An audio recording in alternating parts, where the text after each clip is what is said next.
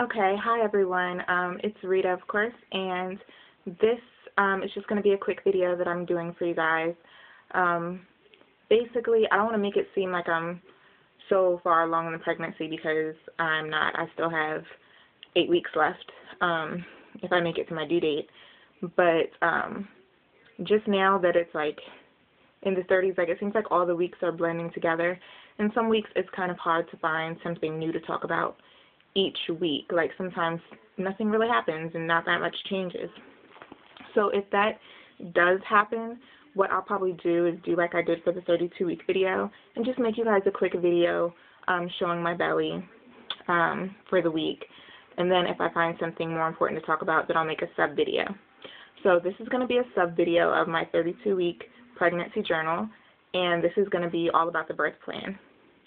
Um, for those of you who don't know what a birth plan is, it's basically just a plan on paper um, of how you want things to go, what you don't want to happen, basically just preparation so that things go smooth when you get to the hospital. Now, of course, everything doesn't always go as planned, but there's nothing wrong with having a plan. So, um, with that being said, you can always make your own birth plan. Um, if you've had kids before, you know how to do one. You can just type one up um, if you don't know anything about a birth plan or don't know what should be in one, um, then you can do like I did, and you can print a template offline and fill it in. Like they'll have everything done for you, and then you just print it and you can fill in um, stuff yourself. Now me, I downloaded mine off of thebump.com, um, T-H-E-B-U-M-P.com, um, and it looks like this.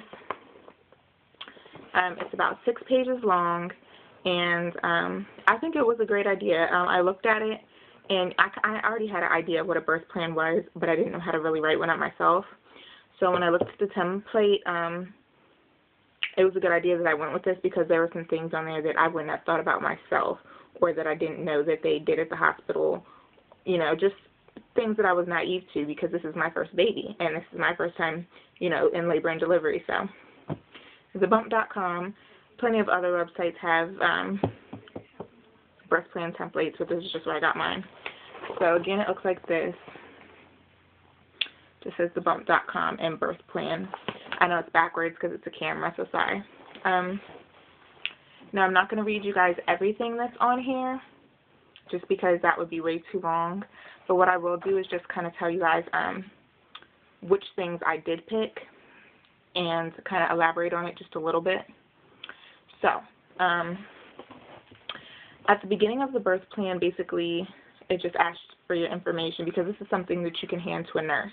You can put it in your hospital bag and then give it to um, a nurse because you're going to be in so much pain. Well, not everybody, but you're probably going to be in pain. Your mind's going to be everywhere else when you're in labor. And so if you have it written down, typed up, you know, whatever, then you don't really have to worry about it. You can just say, here, you know, this is what I want. This is these are my preferences, and not have to worry about remembering things and forgetting things.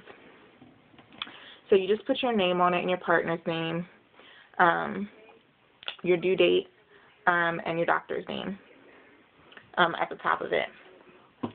Then um, there is an area where you're going to notate, like if you have anything that's like um, that has gone wrong in your pregnancy, like having gestational diabetes or um, having group B strep or anything like that.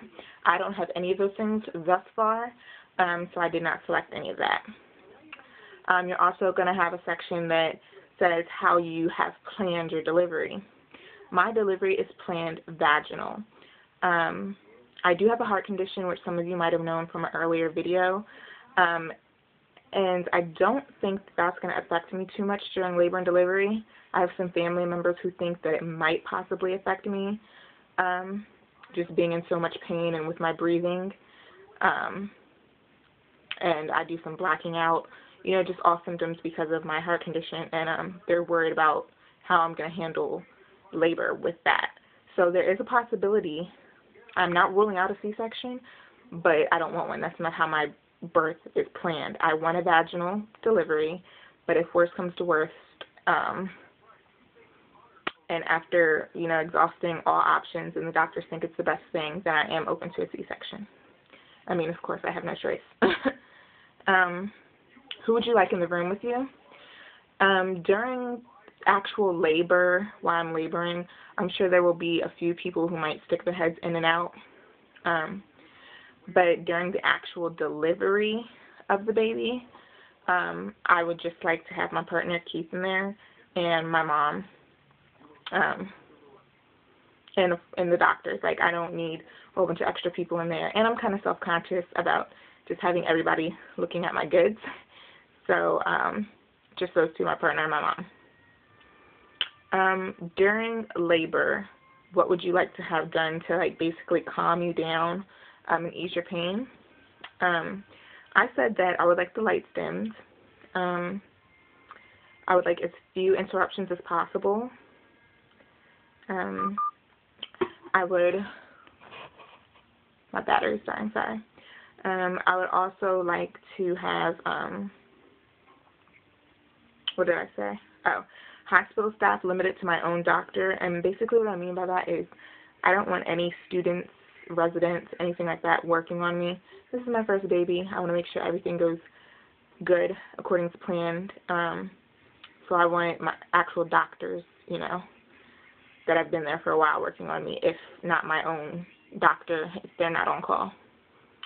Um, I would say that I want the room quiet, but sometimes when I'm in pain, um, I don't like it to be quiet because all you do is think about the pain. So I am um, up to maybe having music played. Keith is really good at picking out like some like soul type of music, some relaxing music. So I might have him make me like a playlist, and then we can play that while I'm laboring.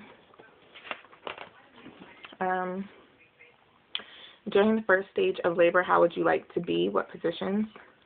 I said that I would like to, during the first stage of labor, um, probably do some walking around if I'm up to it. If the pain's not too bad, why not walk around the hospital a little bit and try to progress things naturally. Um, and then, of course, I want to be laying down, um, you know, just to be on the safe side and so that they can monitor me. Um, and that's one of the next questions was how would you like fetal, fetal monitoring to be? And I would like it to be continuous. Um, unless I am up walking around, of course, I can't be monitored that way. Um, but otherwise, if I'm in the bed, I would like it to be continuous monitoring just in case anything happens with Kimora, her heart rate drops or anything like that. They'd be able to catch it right away and do what they need to do. Um, I am not interested in um, a urinary catheter if I don't have to have one. Um, I don't want one. It just kind of freaks me out. Um, would you like labor augmentation? And for those of you who don't know what that is, they're referring to things like Pitocin, um, membrane stripping, things like that, basically to encourage labor unnaturally. The thing that I checked off, I do not want Pitocin unless, you know, I'm in labor for 48 hours or something. And um, it's absolutely necessary. I don't want it. But um, membrane stripping, I hear a lot of girls say that they get that done in their videos. Personally, I don't really know what that is or like what they do. Um, so I'm not opposed to it, but I'm not saying I want it either. I'm going to do some research on what is actually membrane stripping because I know girls normally get it done at their doctor's appointments before they're actually laboring, and it like kind of helps bring on labor. So if anybody wants to comment or shoot me an inbox message and just like inform me on what that actually is, that would be great. Um, how would you like pain relief to be used during your labor? I say that I am up for breathing techniques, of course. Um, heat therapy, it works during your menstrual cycle. I don't know if it's going to work during labor, but I'm up to try. Um, massages, I'm completely okay with that. Um, and a standard epidural. Um, sorry guys, but I'm not against the epidural. Um, it's a personal decision. Um, I just know my own pain tolerance. It's very extremely low. Um, who knows? I may not need one. I may not have time for one. But if I do need one and the opportunity is presented, then I am going to ask for an epidural or um, say yes if they offer it to me. Um, I'm not sure about any of the other pain medicine that they give you beforehand because I hear a lot. Of, I'm not sure the exact names of the medicines, but I know a lot of times I hear girls saying that like, oh, it made me so high feeling, or it made me delusional. And I even have one of my friends who she um was on that medicine like before an epidural and she said it just made her so high like she felt seriously like she was on drugs high and she said she didn't even remember delivering her baby. I don't want that to happen. I want to remember this moment. So um just some of those other options scare me. I really don't want anything going through my bloodstream that might affect me or Kimora. Um just more something that's going to numb the pain. And i hear that an epidural really doesn't affect um the baby at all. Um, it just has the possibility of affecting you. So hopefully I get a doctor that knows what they're doing. Um, during delivery, what position would you like to be in? Um, and what would you like to use for support? I said I would like to be semi-reclined um, and use foot pedals for support, just because to me, in my opinion, it seems like it would be so much easier to push being in a semi-sitting semi-reclined position rather than laying flat on your back. And also it seems like if you had the foot pedals instead of just somebody holding your legs, it seems like you would have, I don't know if you have an epidural, you're not going to really have too much control of your legs anyway, but it seems like you would just have more support to push um, if you had foot pedals and if you're kind of sitting up. Um, correct me if I'm wrong for those of you who've had babies, but um, that's just what I want to try anyway. Um, mm, as the baby is delivered, what things would you like to do? I said that I wanted to push as directed when I'm in labor. Um, I know a lot of times girls like to push spontaneously because they say that when the doctor tells you, okay, no, push, all right, now stop, that your body really just keeps going. But this is my first baby and I want to make sure I do everything right, so I'm going to listen to the doctor. So I want to push as directed. Um, I want to touch the baby's head as it crowns. Um, I want to have a full dose of epidural. Of course, like once again, this is if I get an epidural, if um, I have time for one. I would like a full dose of epidural while I'm pushing. Um, I do not want them to use forceps. I do not want them to use the vacuum. If they don't have to, don't do it. Like that just kind of freaks me out because I don't want anything to happen to her um, or them to damage her or just somebody to be operating those tools and not know what they're doing. Like, if I don't need them, don't use them. Um, want to help catch the baby, if possible. I know some doctors probably won't let you, and they'll just place the baby on your stomach afterwards. But if I can reach down um, when they say, okay, she's coming out, and kind of help them place her on me, I think that would be cool. So why not? Um, would you like an episiotomy? I said yes rather than risk a tear, I'm up for an episiotomy. I mean, think about it. When you rip a piece of paper in half, um, or you cut a piece of paper in half, which one's easier to put back together? The one that you cut in half, um, because it's a straight line. Um, so I just don't really want to tear. Um, and hopefully they'll numb me or something first.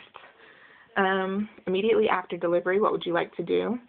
Um, I would like my partner to cut the umbilical cord and I do want to see the placenta. I know it's weird, but hey, I grew a organ and a baby. Like, I want to see what comes out of me. It's interesting. So, I don't know. It's weird, but I want to see it. Um, after the baby, when would you like to hold the baby?